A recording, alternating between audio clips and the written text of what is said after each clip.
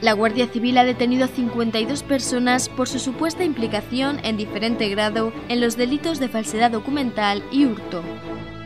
Los detenidos son los responsables de la sustracción de 24.000 kilos de almendra en la comarca de Utiel-Requena, Valencia, además de la falsificación de 145 documentos de acompañamiento y trazabilidad para simular la lícita procedencia de la almendra.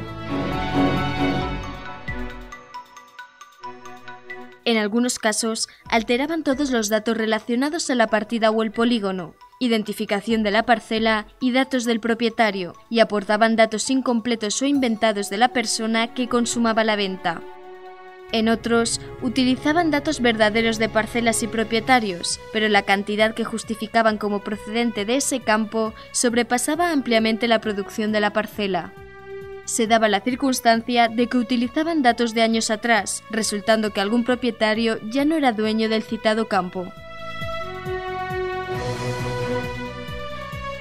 La Guardia Civil estableció un operativo de prevención y vigilancia de las zonas afectadas por los robos, que había causado alarma entre los agricultores de la zona.